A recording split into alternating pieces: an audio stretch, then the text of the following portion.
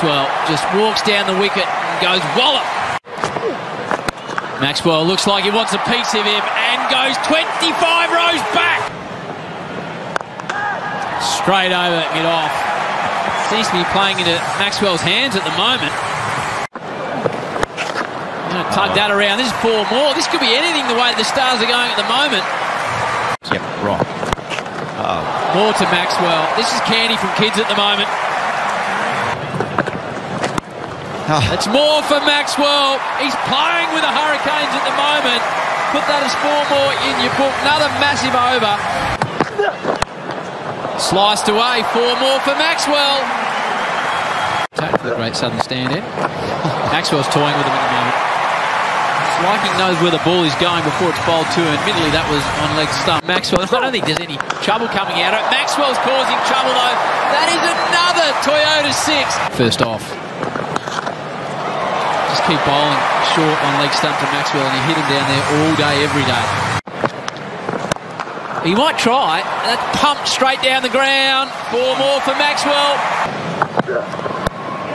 That'll be four more for Maxwell. I think he's heard you, Gilly. He moves to 75 from 29 deliveries.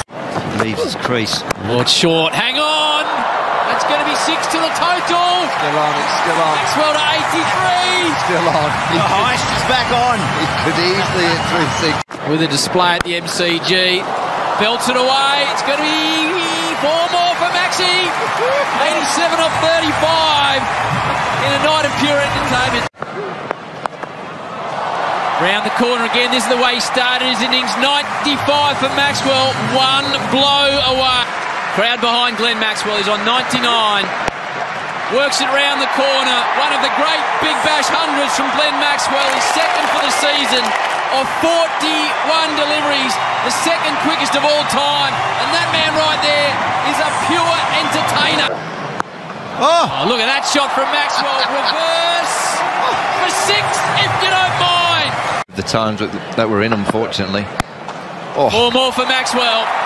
This time he just carves it away over point. For Maxwell. That'll be four more for Maxwell, though. He moves to 126. Thanks to Chemist Warehouse, yet another boundary, two for 204. High score in the tournament, it's 147. He pumps it straight down the ground. He hits it hard. He hits it to the rope. 131. That'll be four more for Maxwell. He just keeps belting the Hurricanes left, right, and centre. Backward of square, there's gaps, which is exactly where Maxwell goes to hit it. Four more. Valiant effort out there, but Max has gone 4 4 4 in the over. Go again.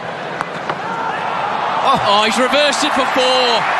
This man is a freak. Equal highest score in the Big Bash for a team. Max is loving it. Outfoxed.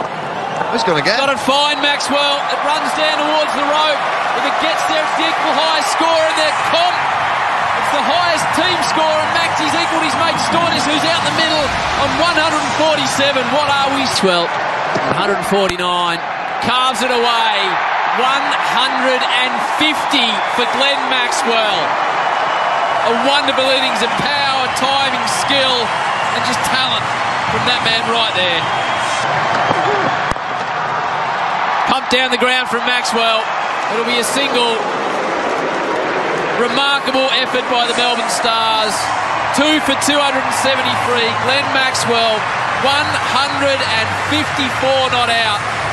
One of the great T20 innings you will ever see. And his mate, Stoinis, 75 from 31.